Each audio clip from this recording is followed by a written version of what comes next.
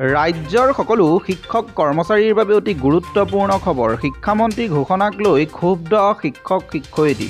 পাঁচ শতাংশ মৰগীয়া বানচৰ সিদ্ধান্ত মানি নলয় শিক্ষক সমাজে।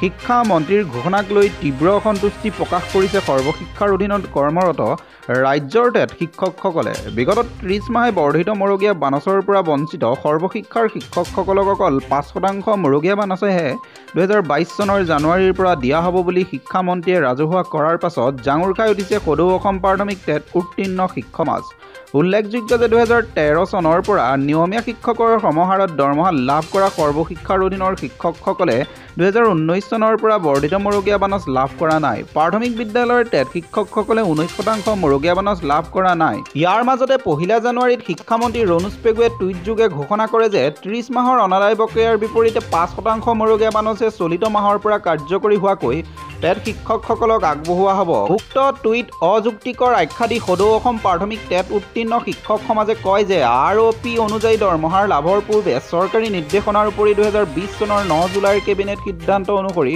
প্ৰকাশ পোৱা ৰাজ্যপালৰ নিৰ্দেশনাত স্পষ্টকৈ উল্লেখ আছে যে সৰ্বশিক্ষাৰ অধীনৰ শিক্ষকসকলক নিয়মীয়া শিক্ষকৰ সমাহাৰত দৰমহা আৰু অন্যান্য সুবিধা প্ৰদান কৰা হ'ব। কিন্তু ৰহস্যজনকভাৱে দুহেজাৰ ঊনৈছ চনৰ পৰা বৰ্ধিত মৰগীয়া বানচসমূহৰ পৰা সৰ্বশিক্ষাৰ অন্তৰ্গত শিক্ষকসকলক বঞ্চিত হৈ আছে।